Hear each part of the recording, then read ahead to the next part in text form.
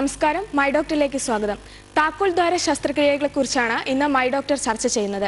ഈ വിഷയത്തെക്കുറിച്ച് സംസാരിക്കാൻ നമ്മുടെ കൂടെ എത്തിയിട്ടുള്ളത് കൊച്ചി സൺറൈസ് ഹോസ്പിറ്റലിലെ ഗൈനക്കോളജിസ്റ്റായ ഡോക്ടർ ആൽഫി എസ് പുതിയടമാണ്. ഡോക്ടർ പരിപാടിയിലേക്ക് സ്വാഗതം. ശരിക്കും സ്ത്രീകളിലെ രോഗങ്ങൾക്ക് ഏറ്റവും കൂടുതൽ സഹായകരമാണ് ഈ താക്കോൽ ദ്വാര ശസ്ത്രക്രിയകൾ എന്ന് കേട്ടിട്ടുണ്ട്. പക്ഷെ പലർക്കും അതിനെക്കുറിച്ച് കാര്യമായ അവബോധം ഇല്ലാതാണ് ശരിക്കും എന്താണ് ഈ താക്കോൽ ദ്വാര ശസ്ത്രക്രിയ?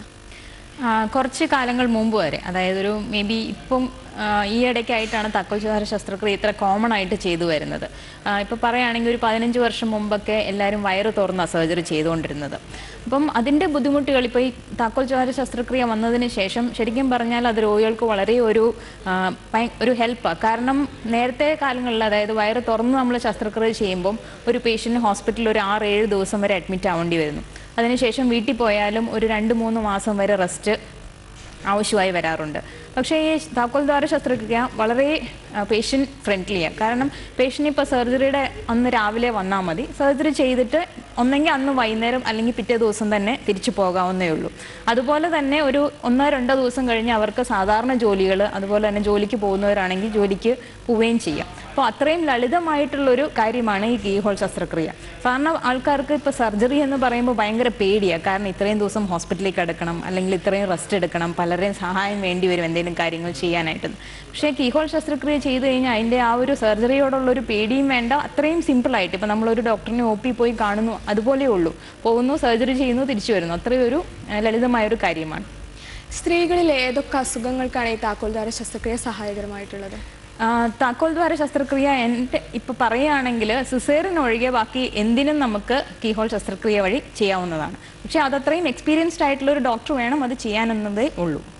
നമ്മൾ ഈ ശസ്ത്രക്രിയയ്ക്ക് ശേഷം എത്ര ദിവസം ആശുപത്രിയിൽ കിടക്കേണ്ടി വരും? പിന്നെ ഭക്ഷണം കഴിക്കുന്നതിലൊക്കെ എന്തെങ്കിലും ബുദ്ധിമുട്ട് അനുഭവപ്പെടുമോ ഞാൻ നേരത്തെ പറഞ്ഞതുപോലെ കീഹോൾ ശസ്ത്രക്രിയ ആണെങ്കിൽ പേഷ്യന്റിന് വേറെ പ്രത്യേകിച്ച് പ്രശ്നമൊന്നുമില്ല. അനസ്തീഷ്യ ഡോക്ടർ കണ്ടു കുഴപ്പമൊന്നുമില്ല എന്നുണ്ടെങ്കിൽ ഈവൻ അന്ന് രാവിലെ തന്നെ പേഷ്യന്റ് വന്ന് അഡ്മിറ്റ് ആയാൽ മതി. സർജറി ചെയ്ത് മൈനർ സർജറീസ് അതായത് ചെറിയ ചെറിയ കാര്യങ്ങളൊക്കെ ആണെങ്കിൽ അന്ന് വൈകുന്നേരം തന്നെ പേഷ്യന്റ് തിരിച്ചു പോവുകയും നോർമൽ ആയിട്ടുള്ള ഭക്ഷണം കഴിക്കുകയും ചെയ്യാം. പിറ്റേ ദിവസം തന്നെ ജോലിക്ക് പോയി തുടങ്ങാം.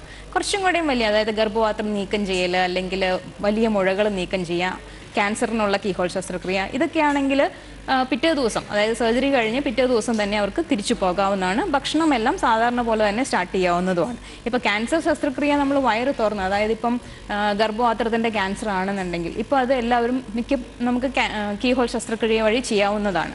അപ്പം അതല്ല പണ്ട് കാലങ്ങളിൽ അല്ലെങ്കിൽ ഈ മിക്ക സ്ഥലങ്ങളിലും ഈ ക്യാൻസറിന് വയറ് തുറന്നാണ്. അതായത് വയറ് തുറക്കുമെന്ന് പറഞ്ഞാൽ മേൾ തൊട്ട് താഴെ വരെ വയറ് തുറന്നാണ് ചെയ്യുന്നത്. അപ്പം കോസ്മെറ്റിക്കലി ശരി ഒരു ക്യാൻസർ രോഗിയെ സംബന്ധിച്ച് ജീവനാണ് പ്രധാനം.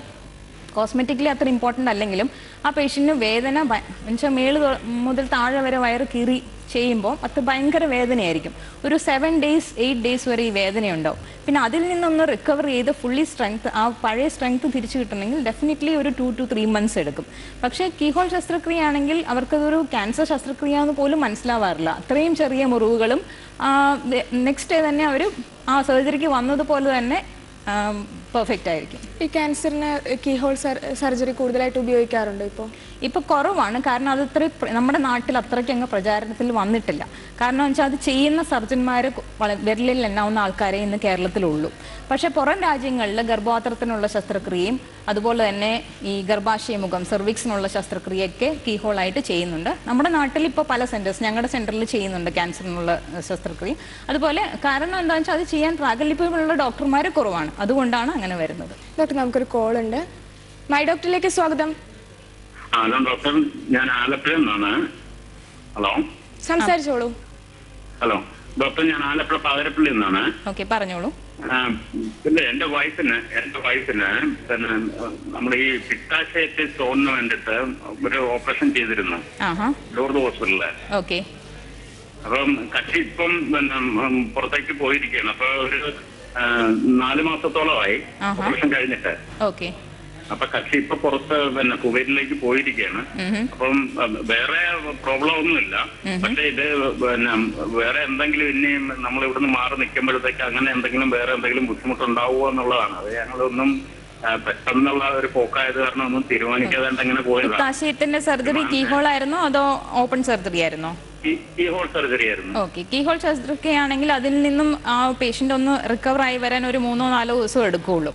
അത് കഴിഞ്ഞ് പിന്നെ പ്രത്യേകിച്ച് ശ്രദ്ധിക്കേണ്ട ഒരു കാര്യമേ ഇല്ല. കാരണം വേറെ പ്രത്യേകിച്ച് സർജറി സംബന്ധമായിട്ട് വേറെ ബുദ്ധിമുട്ടുകളൊന്നും വരാൻ സാധ്യതയില്ല. അതറിയാം. ഞങ്ങൾ ഇതൊന്നും ശ്രദ്ധിക്കാതെ തന്നെയാണ് പോയത്. അപ്പൊ അത് കുഴപ്പമില്ല. ഇപ്പൊ നാലു മാസം ആയല്ലോ ഡെഫിനറ്റ്ലി പഴയ ഒരു ആരോഗ്യം ആ ഒരു രണ്ട് മൂന്ന് ദിവസം കഴിയുമ്പോൾ തന്നെ അതങ്ങ് പേഷ്യന്റിന് തിരിച്ചു കിട്ടും. അതുകൊണ്ട് ഇനി ആ സർജറി കുറച്ച് മറക്കുകയാണ് ചെയ്യേണ്ടത്.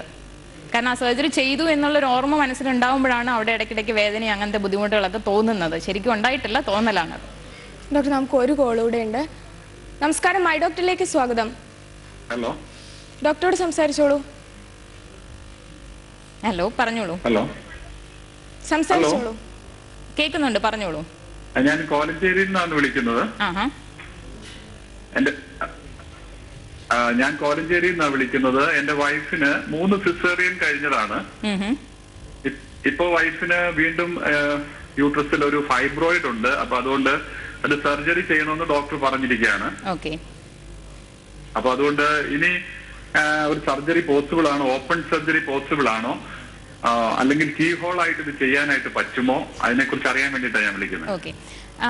മൂന്ന് സിസേറിനാകുമ്പം ഒരു കാര്യമുള്ളത് മൂത്രസഞ്ചി ഗർഭവാശയമായിട്ട് കുറച്ച് ഒട്ടിയിട്ടായിരിക്കും ഇരിക്കുന്നത്. അതുകൊണ്ട് കീഹോൾ ശസ്ത്രക്രിയ ചെയ്യാൻ പറ്റില്ല എന്നില്ല. കാരണം അത് ചെയ്ത് എക്സ്പീരിയൻസ് ഉള്ള ഡോക്ടർക്ക് അത് ഡെഫിനറ്റ്ലി ഒരു ബുദ്ധിമുട്ടും ഇല്ലാതെ ചെയ്യാവുന്നതാണ്. രണ്ടോ മൂന്നോ സിസേറിനാണെങ്കിലും ഒരു കുഴപ്പവും ഇല്ലാതെ ചെയ്യാൻ പറ്റും. അതുകൊണ്ട് മാത്രം വയറ് തുറന്ന് സർജറി ചെയ്യണമെന്ന് ഞാൻ പറയില്ല. കാരണം അത് ചെയ്ത് എക്സ്പീരിയൻസ് ഉള്ള ഒരു ഡോക്ടർക്ക് കീഹോൾ ശസ്ത്രക്രിയ ഹൺഡ്രഡ് പെർസെന്റ് ചെയ്യാവുന്നതാണ്. ഈ അസുഖത്തിന് അസുഖം തുടങ്ങിയിട്ട് കുറെ കാലമായെങ്കിൽ കീ ഹോൾ സർജറി പിന്നെ നമുക്ക് സാധ്യമാവോ? തീർച്ചയായിട്ടും. അതിപ്പം പലപ്പോഴും ഫൈബ്രോയിഡ് ഒക്കെ കുറച്ച് നാളായിട്ടുള്ളതായിരിക്കും. പലപ്പോഴും പേഷ്യൻസ് അത് അറിയാറില്ല. ചിലർക്ക് ഇപ്പോൾ ഫൈബ്രോയിഡ് ഉണ്ടെങ്കിൽ അത് വളർന്ന് വളർന്ന് വലിയൊരു മുഴയായിട്ട് വയറിൽ ഉണ്ടാവുമ്പോഴേ അറിയുള്ളൂ. ചിലർക്ക് ഈവൻ ചെറിയ ഫൈബ്രോയിഡ് ആണെങ്കിൽ പോലും മെൻസസിൽ വ്യത്യാസം വരും. അല്ലെങ്കിൽ ബ്ലീഡിങ് കൂടുതൽ അല്ലെങ്കിൽ വയറുവേദന വരും. അങ്ങനെ ചെന്ന് നോക്കുമ്പോഴായിരിക്കും മനസ്സിലാവുന്നത്.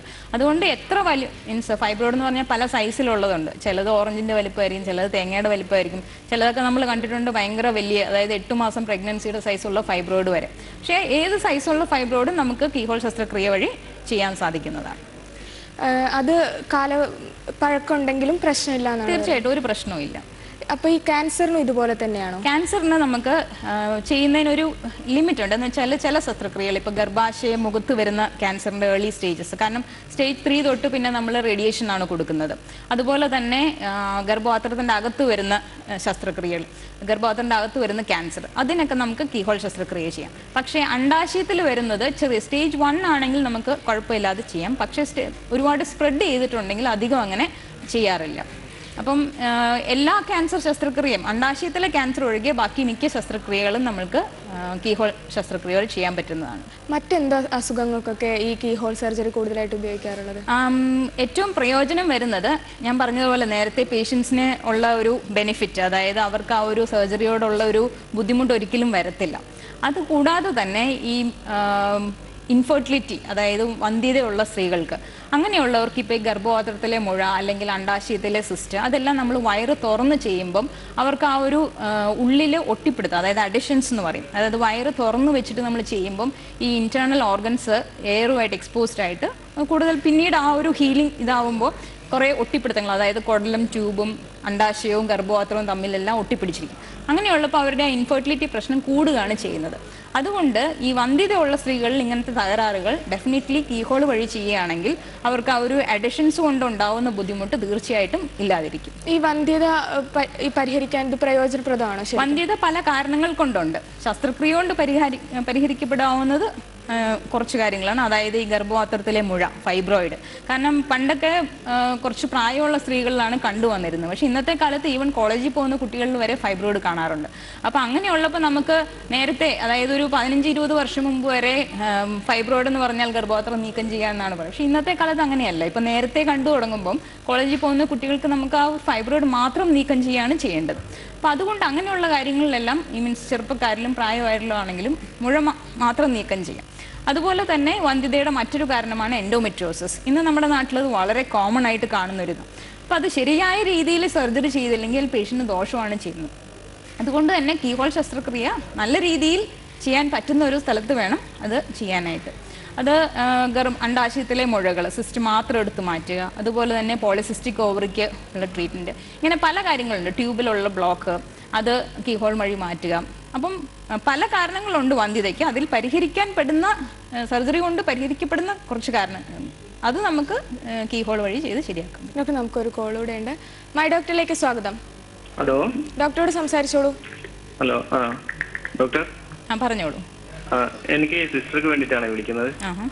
അവർക്ക് ഇപ്പോൾ ഓപ്പറേഷൻ പറഞ്ഞിട്ടുണ്ടായിരുന്നു. ഈ ഗോയിറ്റിന് തൈറോയിഡ് ഇല്ലേ? തൈറോയിഡിന്റെ അപ്പൊ ഇത് കീഹോൾ ചെയ്യുന്നതാണോ നല്ലത്? അല്ലെങ്കിൽ നമ്മൾ ഓപ്പൺ സർജറി ചെയ്യുന്നതാണോ നല്ലത്?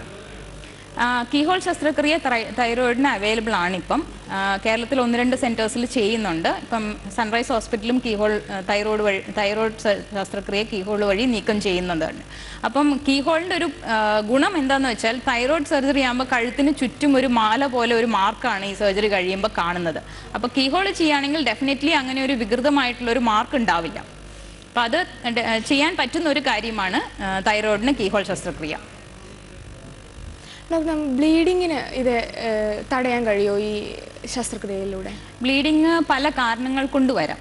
അതായത് ചിലർക്ക് ഈ ഗർഭപാത്രത്തിലെ മുഴ നേരത്തെ പറഞ്ഞതുപോലെ ചിലർക്ക് ഹോർമോണൽ പ്രശ്നങ്ങൾ കൊണ്ട് ബ്ലീഡിങ് വരുന്നതാവാം. അപ്പം ബ്ലീഡിങ്ങിന്റെ കാരണം എന്താണെന്ന് നോക്കിയിട്ട് വേണം അതിനുള്ള ചികിത്സ എടുക്കാനായിട്ട്. ഇപ്പം മുഴയാണ് അല്ലെങ്കിൽ ഗർഭപാത്രത്തിന്റെ ഉള്ളിലെ തടിപ്പ് അങ്ങനെയുള്ള കാര്യങ്ങളൊക്കെ ആണെങ്കിൽ നമുക്ക് കീഹോൾ വഴി അല്ലെങ്കിൽ ഹിസ്ട്രോസ്കോപ്പി എന്ന് പറയും. ചിലർക്ക് ഗർഭപാത്രത്തിന്റെ അകത്തായിട്ട് അത് ആ ബ്ലീഡിങ് വരുന്ന എൻഡോമെറ്റൽ ക്യാവിറ്റിക്കകത്ത് ചെറിയ മുഴയോ അല്ലെങ്കിൽ തടിപ്പോ എന്തെങ്കിലും കാണും. അങ്ങനെയുള്ളത് നമ്മൾ യൂട്രസിന്റെ അകത്ത് ഒരു ക്യാമറ ഇട്ട് ഹിസ്ട്രോസ്കോപ്പി എന്ന് പറയും. അത് നീക്കം ചെയ്യാണ് ചെയ്യുന്നത്. അപ്പോൾ അങ്ങനെയുള്ള കാര്യങ്ങൾ നമുക്ക് ശസ്ത്രക്രിയ വഴി നീക്കം ചെയ്യാൻ പറ്റും. പക്ഷെ ചിലത് നമുക്ക് മെഡിസിൻസ് കൊടുത്ത് അതായത് ഹോർമോണൽ പ്രശ്നങ്ങളാണെങ്കിൽ നമ്മൾ മെഡിസിൻസ് കൊടുത്ത് ശരിയാക്കാൻ പറ്റും ബ്ലീഡിങ്ങിന്റെ നമുക്ക് നമുക്കൊരു കോളൂടെ ഉണ്ട്. മൈ ഡോക്ടറിലേക്ക് സ്വാഗതം. ഹലോ ഡോക്ടറോട് സംസാരിച്ചോളൂ. Hello hello doctor? ആ കേൾക്കുന്നുണ്ട്. ഹലോ? കേൾക്കുന്നുണ്ട് പറഞ്ഞോളൂ. എന്റെ പേര് ഗീത എന്നാണ്. ഞാൻ പ്രാവച്ചമ്പലത്തിൽ നിന്നാണ്. ഡോക്ടർ എന്റെ എനിക്ക് യൂട്രസിനകത്ത് നാല് മുഴകളുണ്ട്. അത് ടു പോയിന്റ് സെവൻ ആണ് സെന്റിമീറ്റർ ആണ്. അത് കുഴപ്പമുള്ള മുഴയാണോ? ചെറിയ മുഴകളാണ്. പ്രത്യേകിച്ച് മെൻസസിൽ പ്രശ്നമൊന്നുമില്ല. വേദനയൊന്നും ഇല്ല എന്നുണ്ടെങ്കിൽ അതൊരു മോണിറ്റർ ചെയ്താൽ അതായത് ആറുമാസം കൂടുമ്പോൾ ഒന്ന് സ്കാൻ ചെയ്ത് നോക്കുക. വലിപ്പം വെക്കുന്നുണ്ടോന്ന്. അല്ല പ്രശ്നമുണ്ട്. ബ്ലീഡിങ്ങിന്റെ പ്രശ്നമുണ്ട്. അങ്ങനെയാണെങ്കിൽ ഇപ്പം ഫാമിലിയൊക്കെ കംപ്ലീറ്റഡ് ആണ്. ഒരു ഫോർട്ടി ഇയേഴ്സിന് മേലെയാണ്. അങ്ങനെയുണ്ടെങ്കിൽ നമുക്ക് ഗർഭപാത്രം നീക്കം ചെയ്യുകയോ അല്ലെങ്കിൽ ഈ മുഴകൾ നീക്കം ചെയ്യുകയോ ചെയ്യാം. ഇപ്പൊ പ്രശ്നമൊന്നും ഇല്ല അതായത് ബ്ലീഡിംഗ് ഇല്ല വേദന ഇല്ല അങ്ങനെ ഉണ്ടെങ്കിൽ നമ്മൾ ഉടനെ തന്നെ ഈ മുഴകൾ മാറ്റണം എന്നില്ല അത് നോക്കി വളരുന്നുണ്ടെന്നുണ്ടെങ്കിൽ മാറ്റുകയാണ് നല്ലത്. കാരണം ഒരു കാര്യം പറയാനുള്ളത് ഇപ്പൊ ഫൈബ്രോയിഡ് എന്ന് പറഞ്ഞാൽ അത് ക്യാൻസറിനുള്ള സാധ്യത കുറവാണ്. ഇപ്പൊ വളരുന്ന അതായത് പെട്ടെന്ന് വളരുന്ന ഫൈബ്രോയിഡുകളാണ് ചിലപ്പോൾ ക്യാൻസർ ആവാൻ സാധ്യതയുള്ളത്. അതുകൊണ്ട് ഒരു ആറുമാസം കൂടുമ്പം ഒന്ന് സ്കാൻ ചെയ്ത് നോക്കുക. പ്രശ്നം അതായത് ബ്ലീഡിങ്ങോ അല്ലെങ്കിൽ വേദനയോ അങ്ങനെ എന്തെങ്കിലും ഉണ്ടെങ്കിൽ നമുക്ക് ഒന്നെങ്കിൽ മുഴകൾ നീക്കം ചെയ്യുകയോ അല്ലെങ്കിൽ ഗർഭപാത്രം നീക്കം ചെയ്യുകയോ ചെയ്യണം. അത് നമ്മൾ പ്രായവും പേഷ്യന്റെ താല്പര്യവും അനുസരിച്ചാണ് നിശ്ചയിക്കുന്നത്.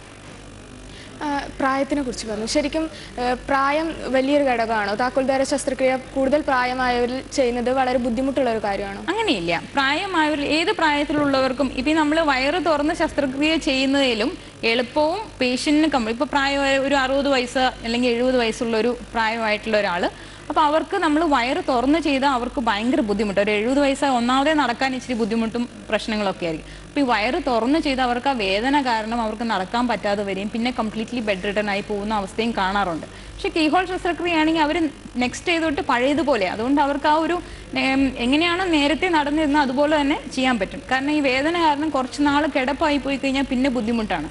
അതുകൊണ്ട് ഡെഫിനറ്റ്ലി ആകെ ഒരു റിസ്ക് വരുന്ന അനസ്തീഷ്യ അതായത് പ്രായമുള്ളവർക്ക് ചിലപ്പോൾ പ്രഷർ ഷുഗർ അങ്ങനത്തെ പ്രോബ്ലംസ് ഒക്കെ ഉണ്ടാകുമ്പം അനസ്തീഷ്യയുടെ റിസ്ക് കൂടുതലാണ് ചെറുപ്പക്കാർ എന്ന് വിചാരിച്ച് സർജറിക്ക് പ്രത്യേകിച്ച് പ്രോബ്ലംസ് ഒന്നുമില്ല. അതിപ്പം ഏത് സർജറി ആണെങ്കിലും ഓപ്പൺ ആണെങ്കിലും ലാപ്രോസ്കോപ്പി ആണെങ്കിലും നമുക്ക് അനസ്തീഷ്യ കൊടുക്കാതെ ചെയ്യാൻ പറ്റില്ല. അത് പ്രഷറും ഡയബറ്റിസും ഹൈപ്പർ ടെൻഷനും ഒക്കെ കൺട്രോൾ ചെയ്തിട്ട് സേഫായിട്ട് അനസ്തീഷ്യ കൊടുത്ത് ചെയ്യാവുന്നതേ ഉള്ളൂ. അതുകൊണ്ട് പ്രായം ഒരു പരിധി ഇല്ല. പ്രായപരിധി ഇല്ല കീഹോൾ ശസ്ത്രക്രിയയ്ക്ക്. ഇതിനെങ്ങനെ മറ്റ് ഓപ്പൺ സർജറിയേക്കാളും ചെലവ് കൂടുതലാണ്? അതുകൊണ്ട് തന്നെ പലരും ഇതിലേക്ക് ഇത് ചെയ്യാൻ തയ്യാറാവാറില്ല. ശരിക്കും അങ്ങനെയാണോ? കുറച്ചൊരു വ്യത്യാസമുണ്ട്. ഇല്ലാന്ന് ഞാൻ പറയുന്നില്ല. പക്ഷേ നമ്മൾ പ്രായോഗികമായിട്ട് ചിന്തിക്കുകയാണെങ്കിൽ അതായത് ഞാൻ നേരത്തെ പറഞ്ഞു ഓപ്പൺ സർജറി ആകുമ്പം ഏഴ് ദിവസം ഹോസ്പിറ്റൽ സ്റ്റേ വരും. ആ ഏഴ് ദിവസത്തെ ഹോസ്പിറ്റൽ സ്റ്റേ തന്നെ ഒരു അതായത് നമ്മുടെ കൂടെ ഉള്ളവരുടെ ചിലവ് ഹോസ്പിറ്റലിൽ നിൽക്കുന്നതിന്റെ ചിലവ് അങ്ങനെ ഒരു ചിലവ്. അതിനുശേഷം നമുക്ക് ഈ ചെയ്യുന്ന ചെയ്യപ്പെടുന്ന പേഷ്യന്റ് മൂന്ന് മാസത്തേക്ക് ജോലിക്ക് പോകാൻ പറ്റാതെ വരും അങ്ങനെ വരുമ്പോൾ അവരുടെ ആ ഒരു സാലറി ലോസ് പിന്നെ ഹെൽപ്പിന് ഒരാളെ കൂടെ നിർത്തേണ്ടി വരും. ഒരു സെർവനെയോ അല്ലെങ്കിൽ ഹോം നേഴ്സിനെയോ നിർത്തേണ്ടി വരും. അപ്പം അതിനുള്ള എക്സ്പെൻസ് ഇതെല്ലാം കൂടെ നമുക്ക് എക്സ്പെൻസിനെ കുറിച്ച് പിന്നെ സംസാരിക്കാൻ ഒരു കോൾ ഉണ്ട്. മൈ ഡോക്ടറാണ് ഹലോ ഡോക്ടർ ആ കേൾക്കുന്നുണ്ട് പറഞ്ഞോളൂ. എന്റെ അമ്മയ്ക്ക് സെർവിക്കൽ ക്യാൻസർ ആയിരുന്നു സെക്കൻഡ് സ്റ്റേജ് ആണ്. അപ്പൊ അവർ സർജറി ചെയ്തിട്ടുള്ള റേഡിയേഷൻ കീമോയോ ചെയ്തത് എന്തുകൊണ്ടാണ് സർജറി ചെയ്യാത്തത്? അല്ല നമ്മൾ stage two A and B ഉണ്ട്. അപ്പം കുറച്ചൊന്ന് സ്പ്രെഡ് ആയി കഴിഞ്ഞു കഴിഞ്ഞാൽ അതായത് സ്റ്റേജ് ടു ബി ആണെങ്കിൽ നമ്മൾ ആദ്യം റേഡിയോ തെറപ്പിയും പിന്നെ അതിന്റെ കൂടെ തന്നെ കീമോതെറപ്പിയാണ് ചെയ്യുന്നത്. കാരണം സർജറിനേക്കാളും എളുപ്പം. അതായത് നമ്മൾ സർജറി ചെയ്താൽ കുറച്ചധികം എക്സ്റ്റെൻസീവ് ആയിട്ട് ചെയ്യേണ്ടി വരും. അപ്പം അങ്ങനെയുള്ള പേഷ്യൻസിന് സർജറിയേക്കാളും നല്ല റിസൾട്ട് റേഡിയേഷൻ കൊണ്ടാണ് കിട്ടുന്നത്. അതുകൊണ്ടാണ് സ്റ്റേജ് ടു ബി തൊട്ട് നമ്മൾ റേഡിയേഷനും കീമോതെറപ്പിയും കൊടുക്കുന്നത്. ഡോക്ടർ നമുക്ക് തിരിച്ചു വരാം. ഒരു ചെറിയ ഇടവേളയ്ക്ക് സമയമായിട്ടുണ്ട്. മൈ ഡോക്ടറിൽ ഇനിയൊരു ഇടവേള. മൈ ഡോക്ടർ തുടരുന്നു. ഡോക്ടർ നമ്മൾ എക്സ്പെൻസിനെ കുറിച്ചാണ് പറഞ്ഞുകൊണ്ടിരുന്നത്. ശരിക്കും മറ്റ് ഓപ്പൺ സർജറിയേക്കാളും ഇരട്ടി കാശ് ഇതിന് ചിലവാകും. അങ്ങനെ പറയുന്നത് ശരിയാണോ? ആദ്യകാലങ്ങളിൽ ഇത് ലാപ്രോസ്കോപ്പി ഇറങ്ങിയ കാലത്ത് കുറച്ച് ഡെഫിനറ്റ്ലി എക്സ്പെൻസ് കൂടുതലായിരുന്നു. കാരണം പല സ്ഥലങ്ങളിലും ഉണ്ടായിരുന്നില്ല. വളരെ കുറച്ച് സെന്റേഴ്സിൽ മാത്രമേ ഉണ്ടായിരുന്നുള്ളൂ. ഇപ്പം മിക്ക സെന്റേഴ്സിലും ലാപ്രോസ്കോപ്പി ഉണ്ട്. അതുകൊണ്ട് അങ്ങനെ അതൊരു വലിയ വ്യത്യാസം എന്ന് പറയാൻ ഒരുപാടില്ല. പക്ഷെ നമ്മൾ മനസ്സിലാക്കേണ്ട ഒരു കാര്യം ഈ ഓപ്പൺ സർജറി ചെയ്യുമ്പോൾ ഉണ്ടാവുന്ന പേഷ്യൻസിനുണ്ടാവുന്ന ബുദ്ധിമുട്ട് അതുപോലെ തന്നെ ഞാൻ നേരത്തെ പറഞ്ഞു പേഷ്യൻസിലുണ്ടാവുന്ന സാലറി ലോസ് അതായത് ഒരു മൂന്ന് നാല് മാസം ലീവ് എടുത്ത് വീട്ടിലിരിക്കണം. ഒരാളെ സഹായത്തിന് വേണം. കൂടുതൽ നാൾ ഹോസ്പിറ്റൽ സ്റ്റേ വേണം. കൂടുതൽ മരുന്നിന്റെ ആവശ്യം വരാറുണ്ട്. ഇതൊക്കെ നോക്കുമ്പോൾ ശരിക്കും പറഞ്ഞാൽ പേഷ്യൻസിന് കംഫർട്ടബിൾ ഒന്നായത് പേഷ്യന്റെ പെയിൻ വളരെ കുറവായിരിക്കും. ഇപ്പോൾ ഓപ്പൺ സർജറിയിൽ ഒരു പത്താണ് പെയിൻ സ്കോർ എങ്കിൽ കീ ഹോളിൽ അതൊരു രണ്ടായിരിക്കും. അത്രയും ഒരു ഡിഫറെന്റ് പേഷ്യന്റ് കംഫർട്ടബിൾ ആണ്. പിന്നെ അവർക്കൊരു മേ ബി മാക്സിമം ഒരു വൺ വീക്കിന്റെ ലീവിന്റെ ആവശ്യമുള്ളൂ. അത് കഴിഞ്ഞിട്ട് അവർക്ക് പഴയതുപോലെ അവർക്ക് ജോലിക്ക് പോയി തുടങ്ങാം. വേറൊരാളുടെ ഹെൽപ്പ് അതായത് ഞങ്ങളുടെ ഹോസ്പിറ്റലൊക്കെ ആണെങ്കിൽ സർജറി ചെയ്ത് അന്ന് ഒരു ത്രീ ഫോർ അവേഴ്സിൽ തന്നെ പേഷ്യന്റ് എണീറ്റ് ബാത്റൂമിൽ പോയി അവർ വളരെ കംഫർട്ടബിൾ ആയിട്ടിരിക്കുന്നു. അപ്പോൾ ഇതൊക്കെ വെച്ച് നോക്കുമ്പം ഒരു ചെറിയ ഡിഫറൻസ് പണ്ടത്തെ പോലെ ഒരുപാട് വലിയ ഡിഫറൻസ് ഒന്നും ഇപ്പോൾ ലാപ്രോസ്കോപ്പിയും ഓപ്പൺ സർജറിയും തമ്മിലില്ല. ആ ഒരു ചെറിയ ഡിഫറൻസ് എനിക്ക് തോന്നുന്നു അത് പേഷ്യന്റിന് വലിയൊരു പ്രശ്നമാവും തോന്നുന്നില്ല. കാരണം ബെനിഫിറ്റ്സ് വളരെ ഏറെയാണ് ഡോക്ടർ നമുക്കൊരു കോൾ ഇവിടെ ഉണ്ട്. മൈ ഡോക്ടർ ആണ്. ഹലോ. മൈ ഡോക്ടർ ആണ്. മലപ്പുറത്തു നിന്നാണ് എന്റെ മകൾക്ക് വയറ്റിലുണ്ട്. രണ്ടാമത്തെ പ്രസവമാണ്. ഇരുപത്തിമൂന്ന് വയസ്സേ ആയിട്ടുള്ളൂ. അപ്പോ അങ്ങനെ വയറ്റിൽ മൂന്ന് മാസമായപ്പോ തന്നെ മുഴ ആണെന്ന് ഡോക്ടർ പറഞ്ഞു. വയറ്റിലുണ്ടായിരുന്നു മൊയയാണ്. ആ മൊയ ശസ്ത്രക്രിയ കൂടി ഓപ്പറേഷൻ ചെയ്ത് എടുത്തു പിന്നെ രണ്ടാമതും ഇപ്പോഴും പറയുന്ന തടിപ്പുണ്ട് മൊയന്റെ ഒരു ഇതുണ്ടെന്ന്. ആ ഡോക്ടർ പറയുന്ന ഓപ്പറേഷൻ ഇനി ഒരു വയറോപ്പറേഷൻ കൂടി ചെയ്ത് കഴിഞ്ഞ് കുട്ടിനെടുത്താലും അത് പ്രസവിക്കാൻ ഇനി പറ്റൂല എന്ന് പറയുന്നത് അതിൽ എന്തെങ്കിലും കുഴപ്പമുണ്ടോ? ഗർഭപാത്രത്തിലെ മുഴ എന്ന് പറഞ്ഞ ഫൈബ്രോയിഡ് ആണോ ഉദ്ദേശിച്ചത്? ഗർഭപാത്രത്തിലെ മുഴയാണല്ലേ? ആ, ഗർഭപാത്രത്തിൽ പുറത്താണ് മുഴ. ഗർഭപാത്രത്തിന്റെ പുറത്ത് അതല്ല അണ്ടാശയത്തിലാണോ ഗർഭപാത്രത്തിന്റെ അകത്താണോ? അതായത് ഗർഭപാത്രത്തിലാണോ മുഴ? ഗർഭപാത്രത്തിലല്ല ഗർഭപാത്രത്തിന്റെ പുറത്ത്. പുറത്ത്. ഫൈബ്രോയിഡ് ആണ് എനിക്കും ഉദ്ദേശിച്ചത് ഡോക്ടർ. രണ്ടാമതൊന്നും ചെയ്യുന്നത് കൊണ്ടും പ്രശ്നമില്ല. കാരണം വയറ് തുറന്ന ചെയ്യുന്നെങ്കിൽ ഈ രണ്ടും മൂന്നും ശസ്ത്രക്രിയ ചെയ്യുമ്പം ബുദ്ധിമുട്ട് വരും. പക്ഷെ കീഹോൾ ആയിട്ടാണെങ്കിൽ നമുക്ക് ആ ഒരു മുഴ മാത്രം അങ്ങ് എടുത്തു കളഞ്ഞു കഴിഞ്ഞാൽ ഇരുപത്തിമൂന്ന് വയസ്സല്ലേ ആയിട്ടുള്ളൂ. മുഴ മാത്രം എടുത്തു കളഞ്ഞ് പ്രഗ്നൻസി ആവുന്നതുകൊണ്ട് പ്രശ്നമൊന്നുമില്ല. ഡോക്ടർ ഈ സംശയം എല്ലാവർക്കും ഉള്ളതാണ്. പ്രഗ്നൻസി പീരീഡിൽ ഈ കീഹോൾ സർജറി എത്രത്തോളം പ്രായോഗികമാണെന്നുള്ളത് പ്രഗ്നൻസിയിൽ നമ്മൾ പൊതുവെ ഏതൊരു ശസ്ത്രക്രിയ ആണെങ്കിലും ആദ്യത്തെ മൂന്ന് മാസത്തിന് ശേഷമാണ് പറയുന്നത്. കാരണം ആ ഒരു ഫസ്റ്റ് ത്രീ മന്ത്സ് കുറച്ച് ബേബി ആ ഗ്രോ ചെയ്യുന്നൊരു സമയമാണ് പക്ഷെ ചില കേസുകളുണ്ട്. അതായത് ഓവറിയിൽ സിസ്റ്റ് വന്നിട്ട് ടോർഷൻ ആവുക അല്ലെങ്കിൽ അപ്പൻഡിക്സിന്റെ ഇത്. അതൊന്നും നമുക്ക് മൂന്ന് മാസം വരെ നീട്ടി വെക്കാൻ പറ്റത്തില്ല. അതൊക്കെ ഇമീഡിയറ്റ് ആയിട്ട് ചെയ്യേണ്ട ഒരു കാര്യമാണ്. അപ്പം ഇപ്പൊ ലാപ്രോസ്കോപ്പി വന്നതുകൊണ്ട് ശരിക്കും പറഞ്ഞാൽ വളരെ എളുപ്പമാണ് പേഷ്യൻസിന് അതായത് നമുക്ക് പ്രഗ്നൻസി ആണെന്നുള്ളൊരു വ്യത്യാസം ഇപ്പോൾ കീ ഹോൾ ചെയ്യുന്നതിന് പ്രശ്നമൊന്നുമില്ല. അപ്പം ഇമീഡിയറ്റ്ലി ഒരു അപ്പൻഡിക്സ് ചെയ്യുക അല്ലെങ്കിൽ ഓവേറിയൻ സിസ്റ്റ് നമുക്ക് ലാപ്രോസ്കോപ്പിക്കിൽ എപ്പോൾ വേണമെങ്കിലും ചെയ്യാം. അത് പേഷ്യൻസിനും മറ്റു നേരത്തെക്കാളും അബോഷൻ ചാൻസ് അതായത് ഈ ഓപ്പൺ സർജറി ചെയ്യുമ്പോൾ വേദന കാരണം മരുന്നുകൾ കൂടുതൽ കൊടുക്കേണ്ടി വരും. അപ്പം പ്രഗ്നൻസിയിൽ നമ്മൾ കഴിവതും ആന്റിബയോട്ടിക്സും അതുപോലെ പെയിൻ കില്ലേഴ്സും ഒന്നും കഴിവതും റെസ്ട്രിക്ട് ചെയ്തേ കൊടുക്കാറുള്ളൂ. കൊടുക്കുന്നതുകൊണ്ട് കുഴപ്പമില്ല പക്ഷേ നമ്മൾ നോക്കിയും കണ്ടുമൊക്കെ കൊടുക്കാറുള്ളൂ. അതുകൊണ്ട് കീഹോൾ ശസ്ത്രക്രിയ ആകുമ്പോൾ പേഷ്യന്റെ റിക്കവറി വളരെ ഫാസ്റ്റാണ് അതുകൊണ്ട് ആന്റിബയോട്ടിക്സോ അല്ലെങ്കിൽ പെയിൻ കില്ലേഴ്സോ അങ്ങനെ ഒരുപാട് നാൾ കൊടുക്കേണ്ടി വരുന്നില്ല. അതുകൊണ്ട് പ്രഗ്നൻസിയിലും ഡെഫിനറ്റ്ലി ലാപ്രോസ്കോപ്പിക് സർജറി ചെയ്യാവുന്നതാണ്. ഇത് ചെയ്തു കഴിഞ്ഞാൽ മിക്കവാറും പാടുകളൊന്നും ഉണ്ടാവാറില്ല. അപ്പം അങ്ങനെ ഒരു ഈ ചെറിയ പാട് പോലും അവശേഷിക്കാതെ ഇത്ര വലിയ മുഴ പുറ- പുറത്തെടുത്തു എന്ന് പറഞ്ഞാൽ പലരും വിശ്വസിക്കാറില്ല. ശരിക്കും അങ്ങനെ അങ്ങനെ ഒരു അനുഭവം ഉണ്ടോ ശരിക്കും? ഉണ്ട് വളരെ. ബിക്കോസ് മിക്ക പേഷ്യൻസിനും വന്നിട്ട് ചോദിക്കുന്ന ഡോക്ടർ ഇത്രയും വലിയ മുഴ എങ്ങനെയാണ് എടുക്കുന്നത് ഞങ്ങൾക്ക് ഒരു സംശയമുണ്ട് പകുതി അകത്ത് വെച്ചിട്ടാണോ ചെയ്യുന്നത്? തീർച്ചയായിട്ടും അല്ല. കാരണം ഇപ്പം എല്ലാം നിങ്ങളിപ്പം എച്ച് ഡി ക്യാമറ ഉപയോഗിക്കുന്നുള്ളൂ ഞങ്ങളും എച്ച് ഡി സിസ്റ്റം ഉപയോഗിച്ചിട്ടാണ് സർജറി ചെയ്യുന്നത്. അപ്പോൾ ഈ ചെറിയ രക്തക്കൊഴലുകൾ വരെ വളരെ വലുതായിട്ട് കാണുകയും അതുപോലെ തന്നെ അതുകൊണ്ട് ശസ്ത്രക്രിയ ചെയ്യുമ്പോൾ നമുക്ക് തീരെ ബ്ലഡ് ലോസ് ഇല്ലാതെ ഇപ്പോൾ ഒരു ഓപ്പൺ സർജറിയിൽ ടു ഹൺഡ്രഡ് അല്ലെങ്കിൽ three hundred M L blood loss വരാം. പക്ഷേ ലാപ്രോസ്കോപ്പിക് ശസ്ത്രക്രിയ ചെയ്യുമ്പോൾ ചിലപ്പം നമ്മൾ ഒരു ഡ്രോപ്പ് പോലും ബ്ലഡ് കളയാതെ ചെയ്യാറുണ്ട്. അതുകൊണ്ട് അതൊരു നല്ല കാര്യം തന്നെയാണ്. അതുപോലെ തന്നെ മുഴ പുറത്തെടുക്കുന്നത്. പലപ്പോഴും ചോദിക്കാറുണ്ട് ഡോക്ടറെ മുഴ കഴിഞ്ഞ ആഴ്ച തന്നെ ഒരു പേഷ്യന്റ് ചോദിച്ചേ ഉള്ളൂ. അവർ വന്നപ്പോൾ വലിയൊരു മുഴയായിരുന്നു. ഒരു ഇരുപത് സെന്റിമീറ്റർ വലിപ്പമുള്ള മുഴ. അപ്പോൾ ഒരു പുറത്ത് മുറിവൊന്നും കാണാതായപ്പോൾ അത് നമുക്ക് ആകെ വരുന്ന മുറിവ് അഞ്ച് മില്ലിമീറ്ററിന്റെയും ഒരു സെന്റിമീറ്ററിന്റെയും മുറിവാണ്. ഇപ്പം എങ്ങനെയാണ് ഇത് പുറത്തെടുത്തെന്നുള്ളത്? അതിന് പ്രത്യേക തരം ഒരു ഇൻസ്ട്രുമെന്റ് ഉണ്ട് അതായത് മോസിലേറ്റർ എന്ന് പറഞ്ഞിട്ട്. അത് വെച്ച് നമ്മൾ ഈ മുഴ എടുത്തതിന് ശേഷം അതായത് സർജറി ചെയ്ത് ഗർഭപാത്രത്തിൽ നിന്ന് മാറ്റിയതിന് ശേഷം മോസിലേറ്റർ വഴി പുറത്തേക്ക് എടുക്കുകയാണ് ചെയ്യുന്നത്. അതുകൊണ്ട് ഒരു കഷ്ണം പോലും ഒരു മൈക്രോസ്കോപ്പിക് കഷ്ണം പോലും അകത്ത് വിടാതെയാണ് കംപ്ലീറ്റ് എടുത്ത് മാറ്റുന്നത്. ഡോക്ടർ നമുക്കൊരു കോൾ ഉണ്ട്.